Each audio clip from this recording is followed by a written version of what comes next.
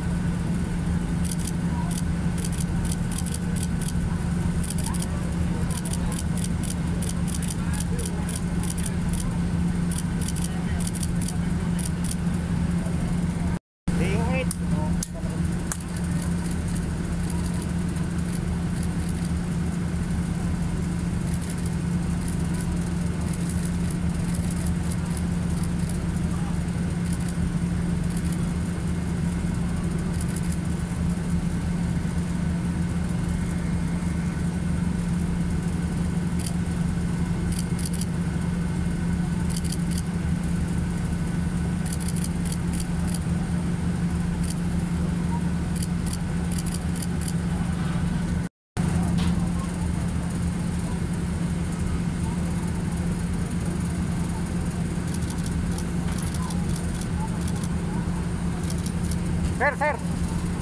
¿Qué ahí?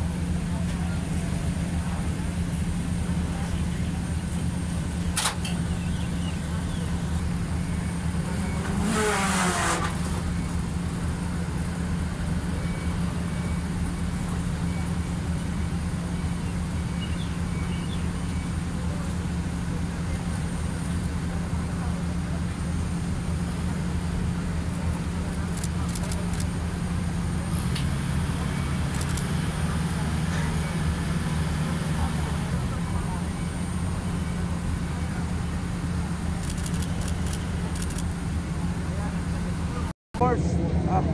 makakatulong po itong mga bakunang ito. Nakikiusap po ako sa mga Pilipino. Huwag po kayong ah, maging uh, kumpiyansa sa ngayon. Alam marami pong kumpiyansa. Nagdidikit-dikit na yung mga tao kahit saan kami pumunta. Nakakadikit-dikit na po yung tao. Hindi porket ah, mababa yung ah, COVID-19 death rate ay ah, maging kumpiyansa po tayo. Huwag natin antayin na umabot pa po sa sitwasyon na bumagsak po ang ating healthcare system. Puno na yung mga hospital at wala na pong paglalagyan ng mga pasyente. Pati yung mga quarantine ah, facilities. Delikado pong magkulang po ito. Pag ah, punong-puno na po at wala na pong lalagyan, dyan po lalong magkakahawaan dahil yung ibang uh, posibleng nagpositibo ay hindi na po ma- ma- ma-isolate.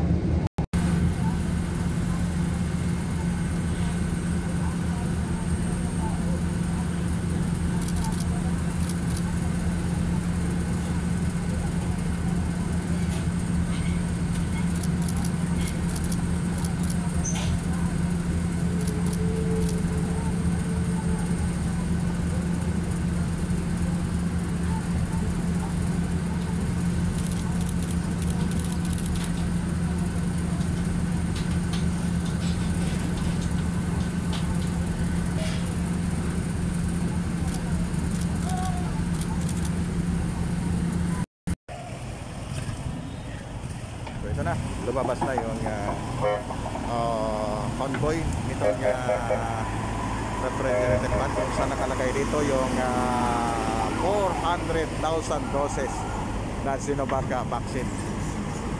Ito na, sunod-sunod na sila no.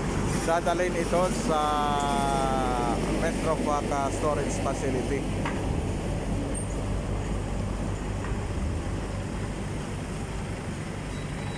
Kailangan kasi hindi mantala tong uh, biyahe nito. Kaya't uh, may uh, escort talaga. Para mabilis na makarating itong uh, uh, bakuna doon sa storage facilities.